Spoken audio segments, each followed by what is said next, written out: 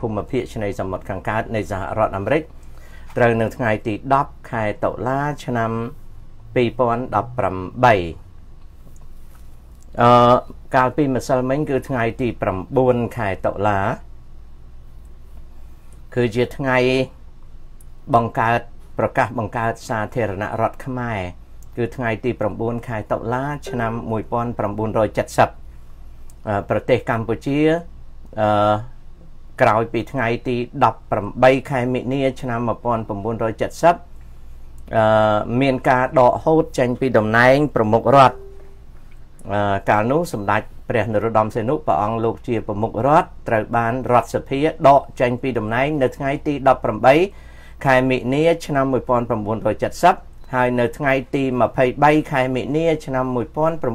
1970សម្ដេចសីហនុលោកកើតទុកមិនសុខចិត្ត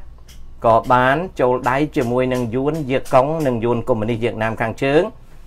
និងពួកខ្មែរក្រហមនិងពួកកុម្មុយនីសដតីដតីធ្វើការវាយប្រហារមកលើរាជការខ្មែរចាប់តាំងពីថ្ងៃទី23ខែមិនិនាឆ្នាំ1970មកសង្គ្រាមក៏ចាប់ផ្ដើមផ្ទុះឡើង នៅលើទឹកដីនៃប្រទេសកម្ពុជា នៅថ្ងៃទី9ខែតុលាឆ្នាំ1970 មានការប្រកាសណាមានការប្រកាសនៅសាធារណរដ្ឋខ្មែរហើយសាធារណរដ្ឋខ្មែរនេះប្រកាសបានតែឈ្មោះទេក្នុងរយៈពេលដ៏ខ្លីអឺមនុស្សដែលចង់កសាងប្រទេសឲ្យជាសាធារណរដ្ឋនឹងបានត្រូវគេប្លន់យកអំណាចអស់ពីព្រោះ អ្នកដែលប្លន់នោះសុទ្ធតែជាកាកសំណល់របស់ពួកសក្តិភូមិទាំងឡាយដែលអឺគេខ្សឹបខ្សៀវគ្នាថាគេធ្វើនយោបាយដើម្បីបោកអាមេរិកាំងតែលទ្ធផលចុងក្រោយអាមេរិកាំងអត់មានចាញ់បោកខ្មែរអស់នោះទេបែរជាខ្មែរនឹងคล้ายទៅជាជនរងគ្រោះកាប់សម្លាប់គ្នាឯង របួសស្នាមនិងបាត់បង់ជីវិតអស់ប្រហែល1លាននាក់ពីឆ្នាំ1970ដល់ឆ្នាំ1975ហើយនៅថ្ងៃទី17ខែមេសាឆ្នាំ1975ដោយសារតែប្រជាប្រិយដ៏មហិមានឹងការចូលដៃរបស់សម្ដេចនរោត្តមសីហនុជាមួយយួនយាកុងនិងយួនខាងជើងនិងពួកកុម្មុយនីសគ្រប់ប្រភេទបានផ្ដល់ឱកាសឲ្យអឺ ពួកខ្មែរកុម្មុយនីសនៃបកកុម្មុយនីសកម្ពុជា ចូលកាន់អំណាចនៅទីក្រុងភ្នំពេញនៅថ្ងៃទី17ខែមេសាឆ្នាំ1970ដែលបានបង្កើតនៅទីលានកាប់សម្លាប់ដ៏សែនធំមួយនៅក្នុងប្រវត្តិសាស្ត្រខ្មែរក្នុងរយៈពេល3ឆ្នាំ8ខែ20ថ្ងៃខ្មែរស្លាប់នឹងអត់បាយកាហាយទឹកនឹងគេចាប់យកទៅសម្លាប់អស់រាប់លាននាក់ ហើយខ្មែរមួយចំនួនធំបានកើតជំងឺឆ្កួតលីលាខាងសតិអារម្មណ៍រហូតមកដល់សពថ្ងៃឆ្លងរោគរហូតដល់ក្មេងជាន់ក្រោយហ្នឹងកើតជំងឺឆ្កួតលីលាខាងសតិអារម្មណ៍បែកបាក់ខ្ទេចខឿនសង្គម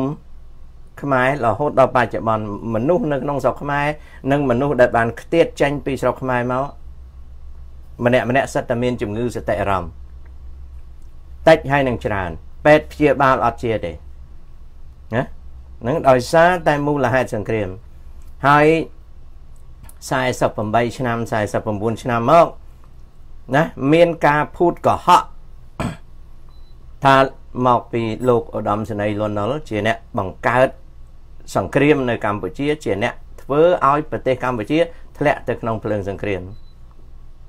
រឿងនេះអយុត្តិធម៌ហើយអត់ពិតទេ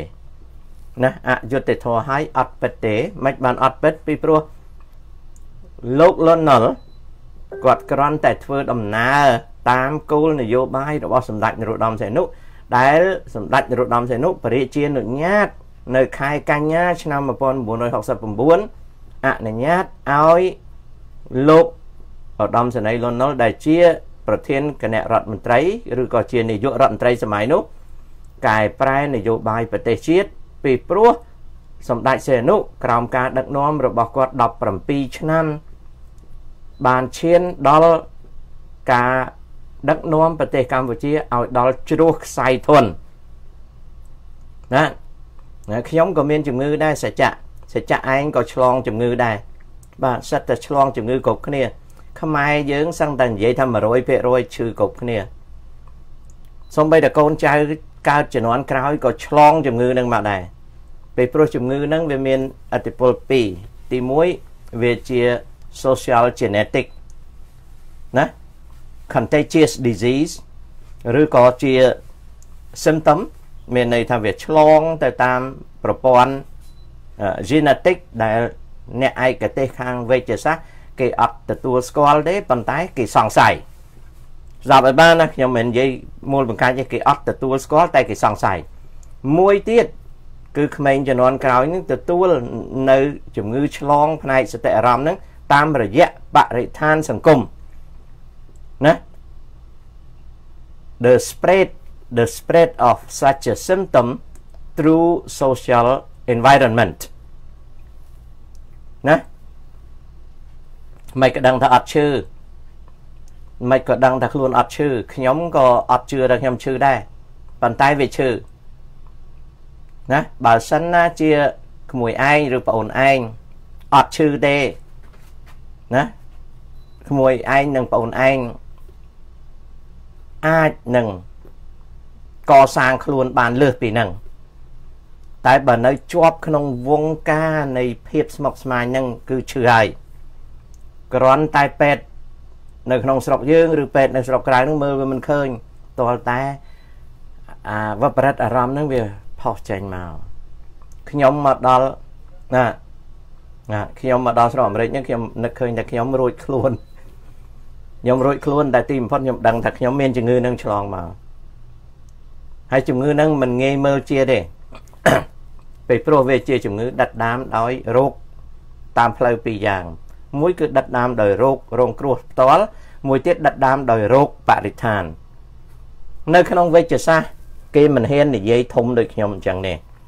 មិនបានគេមិនហ៊ាននិយាយធំដូចខ្ញុំអញ្ចឹងពីព្រោះ វាហួសពី scientific study ណាវាហួសពីការពិសោធន៍រកឃើញបាទគ្មានឆ្នាំទេ លំហាត់ចិត្តក៏មិនងាយដែរ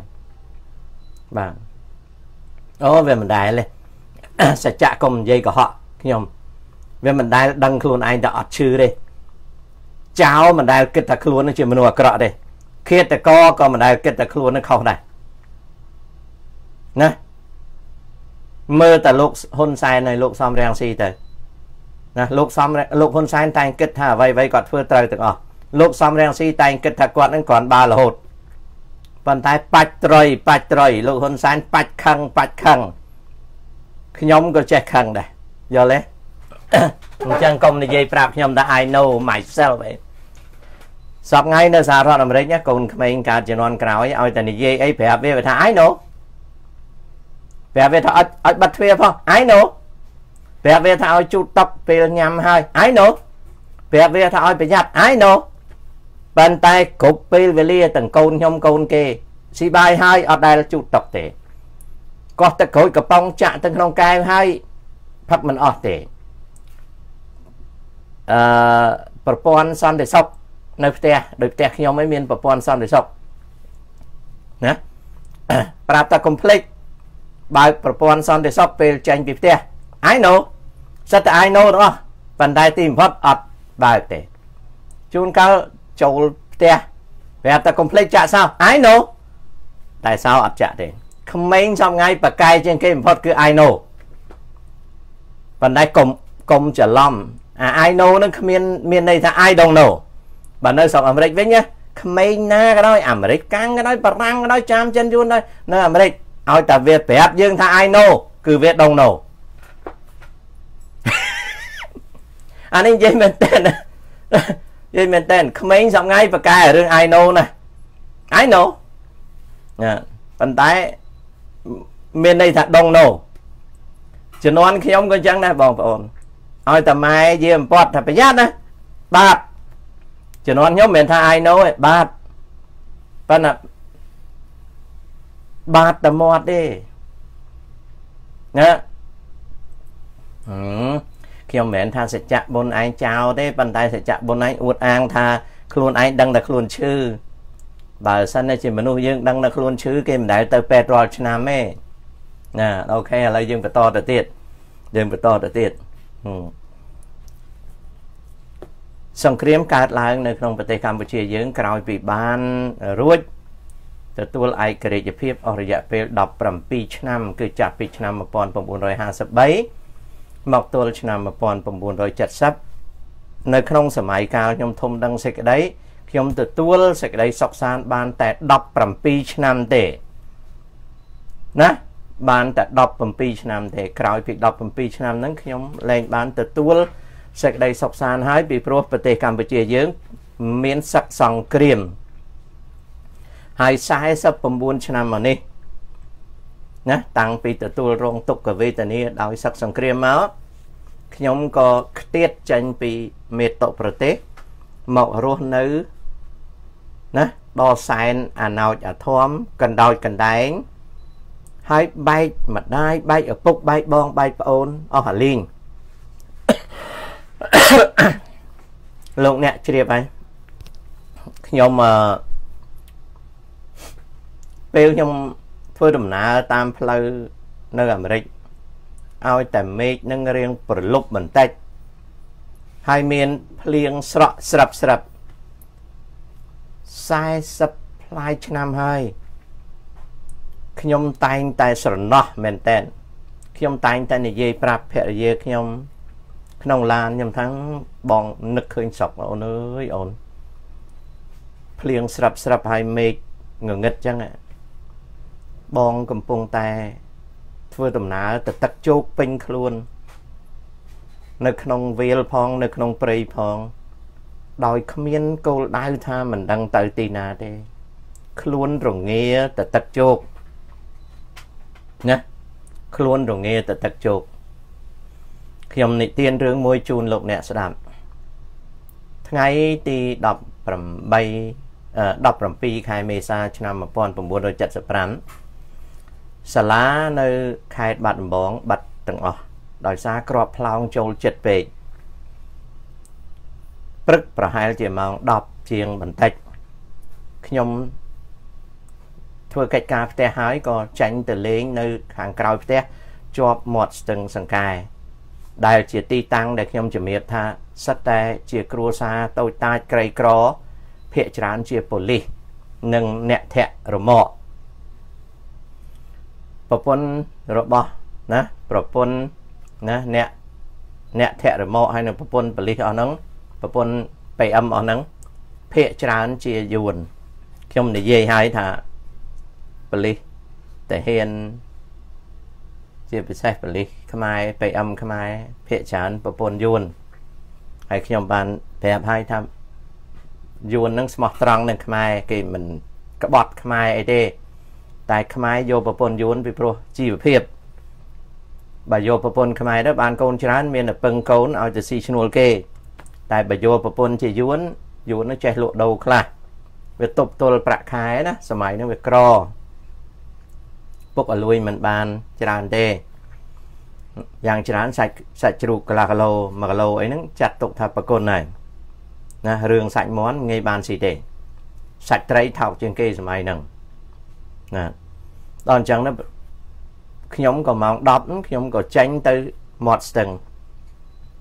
ទៅរកជួបពួកម៉ាក់ក្មេងៗហ្នឹងហើយដូចដឹងហើយខែហ្នឹងខែចូលឆ្នាំលោកអ្នកបាទខ្មែរហ្នឹងខែមេសាគឺខែចូលឆ្នាំឆ្នាំ1975ហ្នឹងហើយដល់ខ្ញុំទៅចាស់ចាស់គាត់អ្នកធាក់រមាក់ហ្នឹង គាត់ហៅខ្ញុំគាត់ថាអារម្មណ៍ nickname ខ្ញុំឈ្មោះភិរមឈ្មោះហៅក្រៅអារម្មណ៍គាត់មិនហៅភិរមគាត់ហៅអារម្មណ៍ហើយមកជួយមើលរ៉ាឌីយូពូរ៉ាឌីយូពូបន្តិចមកអឺមិនបានជាប៉ុស្ភ្នំពេញឬសូក្រៅក្រាក់ក្រៅក្រាក់អញ្ចឹងថ្ងៃទី17ខែមេសាណាខ្ញុំក៏ទៅមួលរ៉ាឌីយូគាត់នឹងមួលចុះមួលឡើង វានៅតែលឺសូរក្រោកក្រាក់ក្រោកក្រាក់វាអត់លឺសូរផ្សាយសំឡេងក៏បើកចោលអញ្ចឹងទៅខ្ញុំក៏មកឈរនិយាយលេងជាមួយនឹងក្មេងៗស្រាប់តែលឺសូវិទ្យុភ្នំពេញហ្នឹងមានសម្លេងប្រុសម្នាក់និយាយអឺសុំអំពាវនាវឲ្យទាហានទាំងអស់ណា ដាក់អាវុធចុះអឺប្រទេសជាតិអឺបានសុខសន្តិភាពហើយណានិយាយប៉ុណ្ណឹងក៏មាន ប្រុសម្នាក់ទៀតគេកាត់សំឡេងប្រុសមុនហ្នឹងថាអឺមិនមែនសុខសន្តិភាពអីទេគឺខាងរណសេរំដោះជាតិកម្ពុជា ឈ្នះហើយ បានចូលកាន់កាប់ទីក្រុងភ្នំពេញហើយក៏យើងស្ដាប់វាមិនច្បាស់ក៏យើងចាំរហូតដល់សៀលបាយហើយម៉ោងប្រហែលជា1ទើបយើងដឹងថាទីក្រុងភ្នំពេញបាន លើកទួងស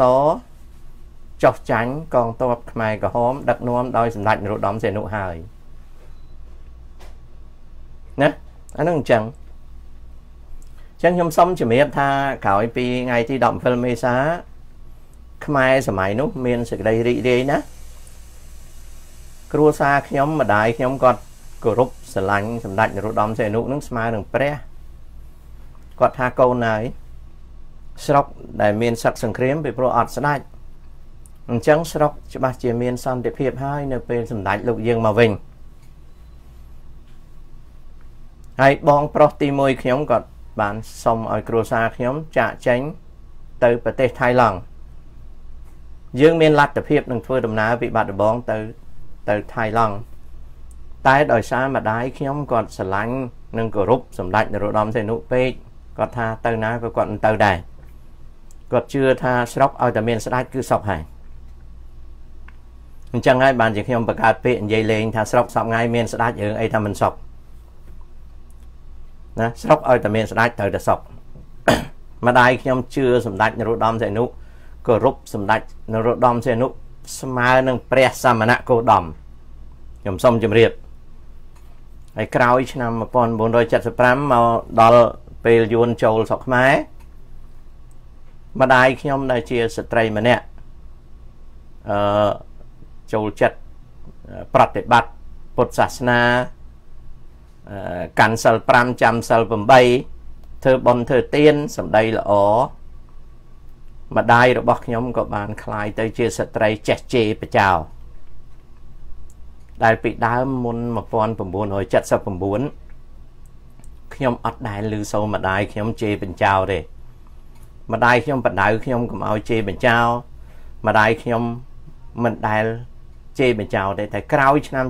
79 ម្ដាយខ្ញុំចេះជេរបញ្ចោតែគាត់អត់បានជេរបញ្ចោអ្នកណាទេគឺម្ដាយខ្ញុំជេរបញ្ចោសម្ដេចនរោត្តមសីហនុរហូតរហូតដល់ថ្ងៃគាត់ស្លាប់អ្នកណាក៏ដោយកុំឲ្យនិយាយឈ្មោះសេនុប្រាប់គាត់គឺគាត់បញ្ចោសេនុធ្លាយដំបូលផ្ទះដោយសារគាត់ឈឺចាប់ខ្លាំងពេកដោយសារគាត់ស្លាប់កូនអស់ដោយសារស្នាដៃដែលគាត់ជឿសម្ដេចនរោត្តមសីហនុគាត់ គោរពសម្ដេចនរោត្តមសីហនុប្រើស្មើនឹងព្រះសមណគោតមហើយមិនបានខ្ញុំនិយាយថាម្ដាយខ្ញុំនឹងគាត់ជឿសម្ដេចនរោត្តមសីហនុស្មើនឹងព្រះសម្មាសម្ពុទ្ធចាំខ្ញុំជំរាបផ្ទះខ្ញុំដូចផ្ទះខ្មែរដតីមុន18មិនិនាឆ្នាំ1970យើងតែងតែមានរូបសម្ដេចឪផ្ទះខ្ញុំមានរូបសម្ដេចឪមួយតតឹងប្រហែលជា7ទឹកណា តតឹងប្រហែលជា7ទឹក7ដេស៊ីម៉ែត្រនិយាយចេះទៅ7ដេស៊ីម៉ែត្រកម្ពស់ប្រហែលជា25ដេស៊ីម៉ែត្រគឺជារូបសម្ដេចនរោត្តមសីហនុទ្រង់ក្រងព្រះពស្ត្រជាអាវរាជខ្មែរយើងអត់ស្គាល់អាវរាជទេអាវរាជគឺអាវធំណាអាវធំទឹកមាសសម្ងាយគេយកមកពាក់ការពាក់អីពីដើមខ្មែរមិនសូវហ៊ានពាក់ទេគេខ្លាចឆុង ខ្លាចរេស័យដាក់ពីព្រោះគេចាត់ទុកថាជាព្រះពស្ត្ររបស់ព្រះជាឥឡូវខ្មែរចង់ធ្វើស្ដេចដែរគ្រប់តែគ្នាដល់អញ្ចឹងគ្រួសារខ្ញុំមានរូបហ្នឹងហើយរូបហ្នឹងរូប color ទៀតជារូបថ្លៃណាស់ដែលម្ដាយខ្ញុំទិញយកមកដាក់តាំងនៅនៅសសនៅក្នុងភោជនីយដ្ឋានមិនមែនតាំងធម្មតាតាំងនៅភោជនីយដ្ឋានទៅតឹងប្រហែល7ដេស៊ីម៉ែត្រកម្ពស់24រូបឈរ ណាដល់សម័យទម្លាក់សម្ដេចនរោត្តមសីហនុកាលនឹងខ្ញុំទៅជាប់នៅតកែវឯណោះ18មិនិនាខ្ញុំជាប់នៅតកែវបងប្អូនចាំខ្ញុំជម្រាបប្រាប់រំលឹករឿងឲ្យកូនក្មួយស្ដាប់ម្ដាយខ្ញុំគេឲ្យដោះរូបសម្ដេចនរោត្តមសីហនុចេញពីព្រោះគេដកនរោត្តមសីហនុឲ្យ18មីនា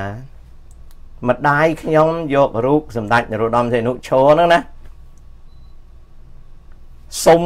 រូបថតហ្នឹងណាគាត់ដាក់រូបព្រះសម្មាសម្ពុទ្ធពីមុខហើយគាត់ដោតធូបថ្វាយអង្គមណា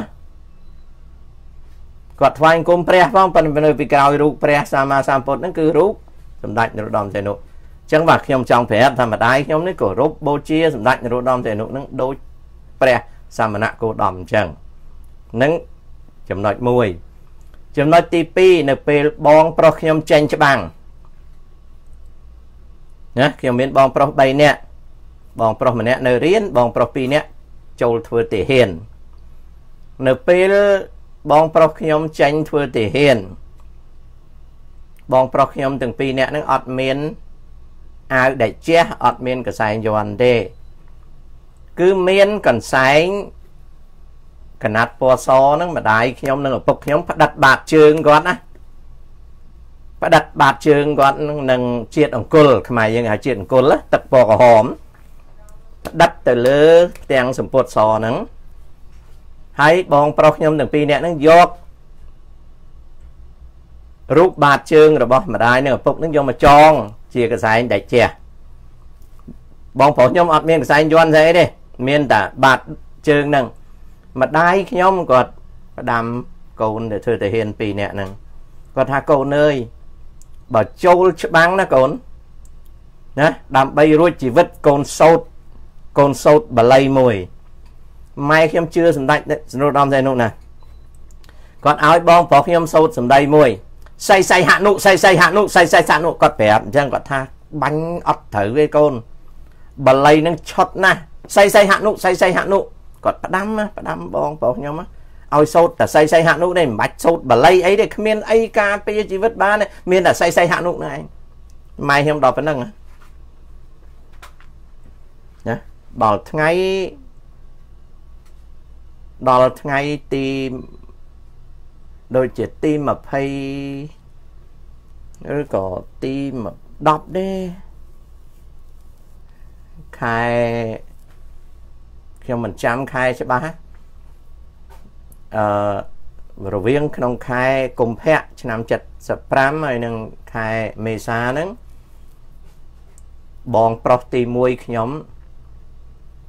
បងប្រុសទី1ខ្ញុំបាក់តបបងប្រុសទី1ខ្ញុំបាក់តបនៅដើមខែដើមឆ្នាំ75ណាបងប្រុសទី1ខ្ញុំគាត់ជាបញ្ជាការនៅសេនាធិការបាភ្នំ គាត់អមជាមួយនឹងវរៈស្នេហ៍ឯក Zong Fernandez Zong Fernandez គាត់ជាប្អូនប្រុសរបស់លោកឧត្តមសេនីយ៍ Sosten Fernandez បងប្រុសខ្ញុំគាត់បាក់តបនៅបាភ្នំខ្ញុំទៅលេងគាត់ហើយខ្ញុំត្រឡប់មកតកែវិញបាក់តបនៅបាភ្នំហ្មង ដល់ពេលគាត់បាក់តបនៅបាភ្នំហ្នឹងនិយាយពីរឿងបាក់តបនៅបាភ្នំហ្នឹងបាទគាត់នៅខាងព្រៃវែងគាត់ឡើងច្បាំងចុះទៅក្រោមបាភ្នំហ្នឹងជំនាន់ហ្នឹងវាមានអំពើពុកអលួយមួយវាមិនមែនពុកអលួយមួយទេវាពុកអលួយពេញប្រទេសប៉ុន្តែខ្ញុំនិយាយអំពីរឿងពុកអលួយមួយកងទ័ពថ្មើរជើងនៃសាធារណរដ្ឋខ្មែរដើម្បីសុំឲ្យកងទ័ពនាវា សុំឲ្យកងទ័ពជើងទឹកនៃសាធារណរដ្ឋខ្មែរនឹងទៅជួយបាញ់តាមមាត់ទន្លេហ្នឹងណាតលតបង់លុយឲ្យបើមិនបង់លុយឲ្យទេពួកម៉ារីនអត់ចុះទៅតាមបណ្ដោយទន្លេហ្នឹងទៅជួយវាយកងទ័ពថ្មើរជើងទេអអាហ្នឹងមួយទៅមួយទៀតមានអំពើពុកអលួយមួយទៀតខាងកងកំភ្លើងធំសាធារណរដ្ឋខ្មែរនៅព្រៃវែងហ្នឹងបាត់តេរីកំភ្លើងធំ105មីលីម៉ែត្រ គេទេបើសិនជាទេអូប្រាប់គេឲ្យគេជួយផ្លោងទៅកាន់ចំណុចណា ដែលកងថ្មើរជើងទប់ជាមួយខ្មែរក្រហមនៅតាមបណ្ដោយទន្លេមេគង្គតតបង់លុយបើមិនបង់លុយបើមិនសន្យាថាបង់លុយទេកំភ្លើងធំអត់គ្រប់គ្រងថ្មើរជើងទេពេលហ្នឹងអ្នកណាក៏ដោយកភ្លើងធំណាកងតបកភ្លើងធំមួយចំនួនមិនមែនទាំងអស់ទេវាមានមនុស្សល្អមានកំងដងល្អមានផ្ទះល្អ ប៉ុន្តែមួយចំនួនខ្ញុំប្រាប់ទៅសុកចិត្តយកកំភ្លើងធំធន់105មីលីម៉ែត្រហ្នឹងបាញ់ចោលឆ្លងទលេចោលអត់មានបាញ់ទៅលើខ្មែរក្រហមទេ គឺបាញ់ចោលដើម្បីយកសបកកទុះទៅលក់ឲ្យចិនវាយធ្វើឡាំងរែកទឹកលោកអ្នកជ្រាបណាក្នុងក្របកំភ្លើងកណុងសង្សែងមួយក្របណា អាមេរិកាំងផលិតណាអស់700ដុល្លារតែហ៊ានសាធារណរដ្ឋខ្មែរដែលពុកអលួយមិនមែនទាំងអស់ទេណាប៉ុន្តែវាបែកសាយាមកកងកំភ្លើងធំសឹកចិត្តបាញ់ឆ្លងទលេចោលដើម្បីយកសបកក្រប105ហ្នឹងយកទៅលក់ឲ្យចិនវាយធ្វើប៉ោតរែកទឹកលក់ចិនវាទិញហ៎ អញ្ចឹងពួកកំភ្លើងធំអត់យកចិត្តទុកដាក់នឹងនឹងគ្រប់គ្រងថ្មើរជើងទេយប់ឡើងបាញ់មកឈុចបឹងឈុចបឹងបាញ់ចោលយកក្របកទុះយើងគិតមើលបាញ់បំផ្លាញក្របចោលដោយអត់មានទិសដៅទេបាញ់ចោលណាយកក្របសបកក្របហ្នឹងលក់ឲ្យចិនវាយធ្វើវាយធ្វើប៉ោតរែកទឹកអាហ្នឹងមួយអាកកូតក្របហ្នឹងអាវងមូលដែកហ្នឹង យកទៅលក់ឲ្យចិនដើម្បីគេវាយធ្វើបថៅធ្វើកបិតណាមុនបងប្រុសខ្ញុំបាក់តបគាត់សុំកភ្លើងធំជួយក៏មិនបានវាអត់មានលុយសន្យាឲ្យលុយគេគាត់សុំឲ្យពួកម៉ារីនចុះទៅតាមទន្លេមេគង្គទៅយកទាហានគាត់ក៏គេមិនចុះយកព្រោះវាអត់មានលុយឲ្យហ៎បាទ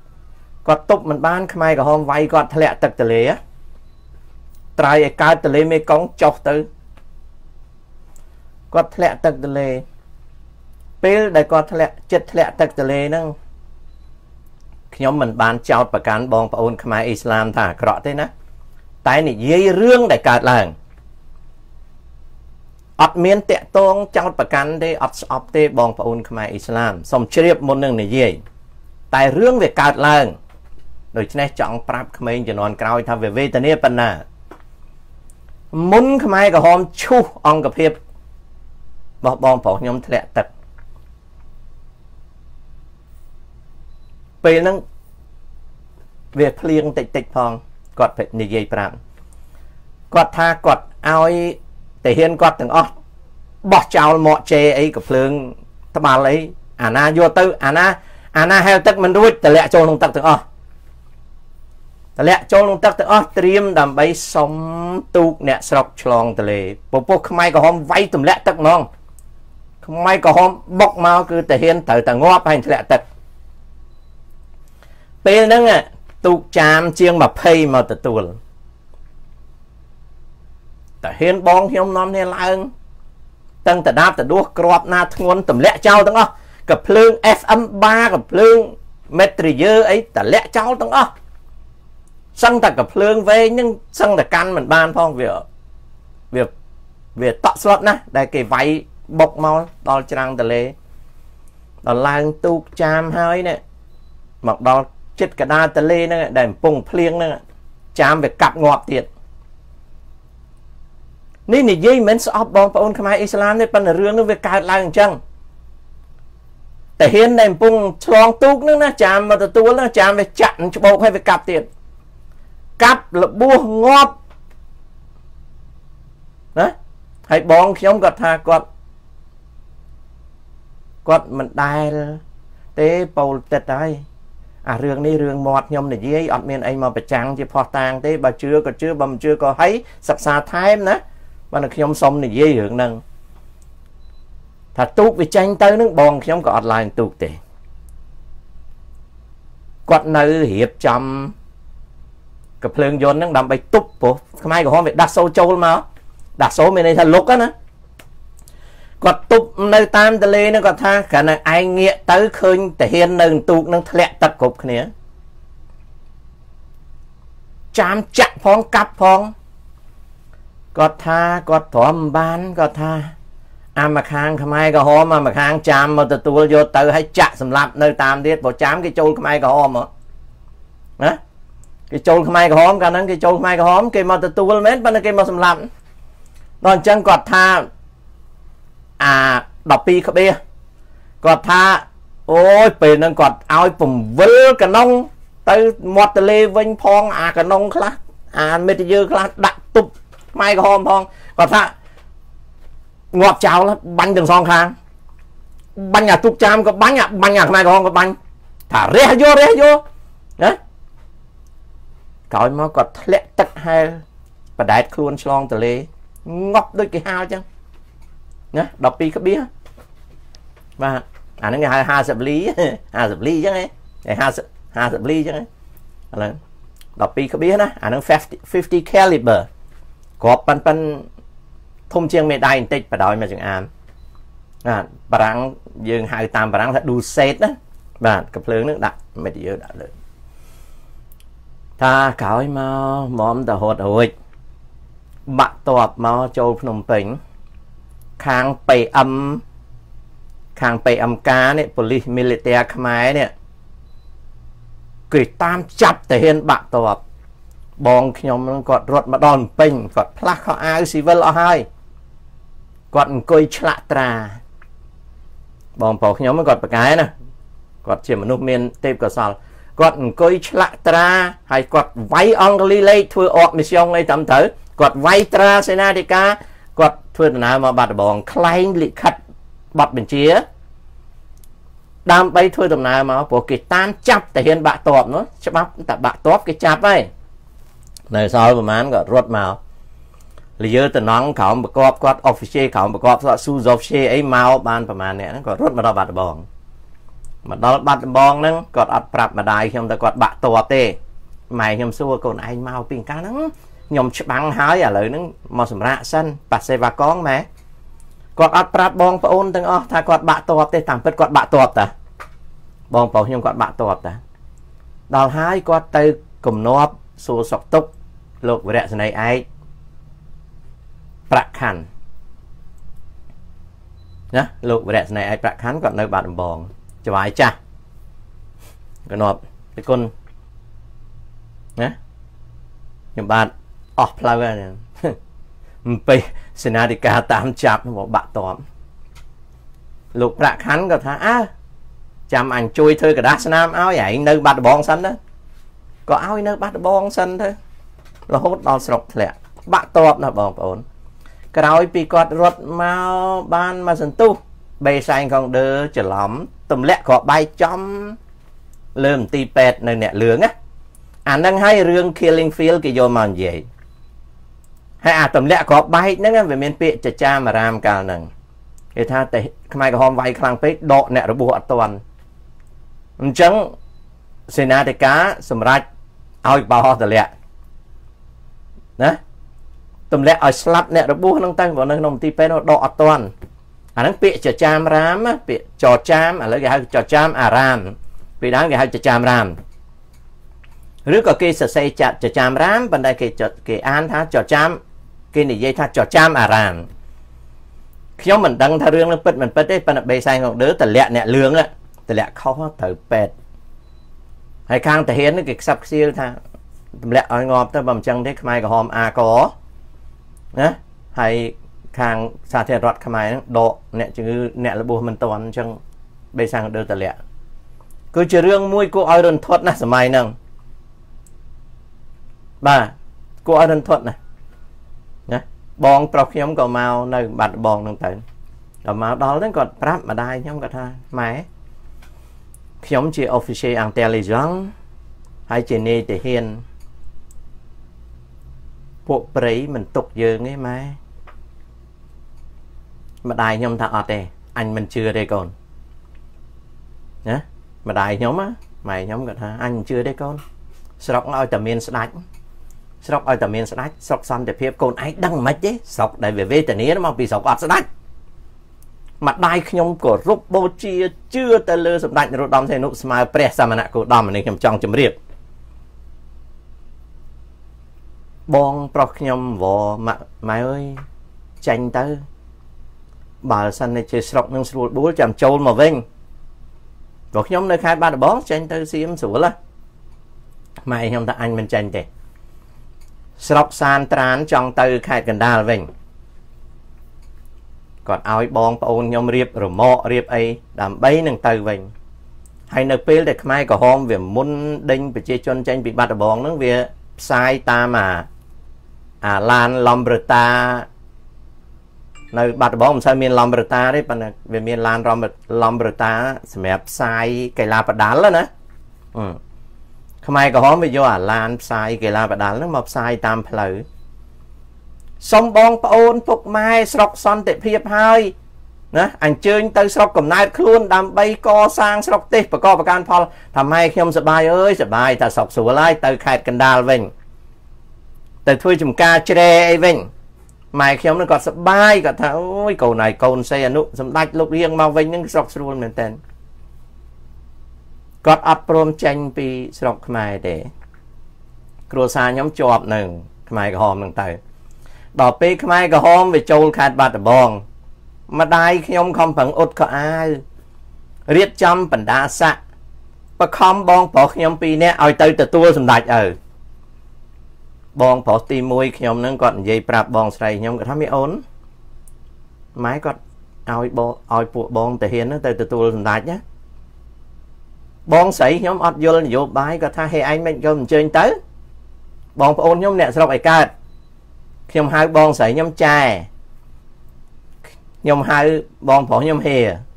ព្រោះអ្នកស្រុកឯកើតណាបងប្អូនអ្នកស្រុកឯកើតហៅរបៀបចិនណាភាកច្រើន តាមដងទលេហៅហេហៅចែអញ្ចឹងបងស្រីខ្ញុំគាត់ប្រាប់បងប្រុសខ្ញុំគាត់ថាហេឯងមិនអញ្ជើញទៅម៉ែគាត់រៀបអ៊ុតខោអាវឲ្យចាំទៅទទួលសម្ដេចបងប្រុសខ្ញុំក៏ប្រាប់ថាមីអូនកុំឆោតពេកណាពួកព្រៃមកអាកកយើងណាមីអូនម៉ែគាត់មិនព្រមចេញទេឥឡូវយើងសុកចិត្តនៅបថុយឲ្យបងទៅទទួលសម្ដេចឯណាមានសម្ដេចឯណាលោកមកដល់ភ្លាម អញ្ចឹងអារឿងគេប្រមូលទៅហ៊ានទៅទទួលសម្ដេចហើយគេដាក់ឡានយកទៅបាញ់ចោលនៅភ្នំតាប្តេណាខ្មែរហៅថាភ្នំទឹកប្តីណាគេយកទៅបាញ់ចោលនៅបត់កងខេត្តបាត់ដំបងអីណាបងប្រុសខ្ញុំអត់ទៅទេបងប្រុសខ្ញុំគាត់រត់រួចមួយសាហ្នឹងគាត់មកស្លាប់នៅ77គាត់ស្លាប់77ស្លាប់នៅនៅភ្នំតូចពីព្រោះយើងបែកគ្នាទៅខ្ញុំចាញ់ផុតមក ខ្ញុំស្មានតែគាត់ចាញ់មកថៃបានមុនខ្ញុំ ពេលខ្ញុំចាញ់មកដល់សៀមហ្នឹងគាត់មានបានចាញ់ណាគាត់គាត់មកតាមបដ ாய் ផ្លូវជាតិលេខ5គាត់មកដល់ភ្នំតូចយើងខេត្តបាត់ដំបងហ្នឹងភ្នំតូចភ្នំធំខេត្តបាត់ដំបងហ្នឹងគាត់ទើនៅហ្នឹងគេសម្លាប់គាត់គេចាប់គាត់បាន គេចោទគាត់ខុសណាគេចោទគាត់ខុសគាត់ជានាយតាហ៊ានប៉ុន្តែគេចោទគាត់ហ្នឹងចោទខុសទេ ចោទខុសទេវាចោទមុសាទេប៉ុន្តែវាចំមនុស្សបងប្រុសខ្ញុំទាំងពីរនាក់ដែលជានាយតាហ៊ានហ្នឹងគេចាប់បាននៅភ្នំតូចហ្នឹងតែ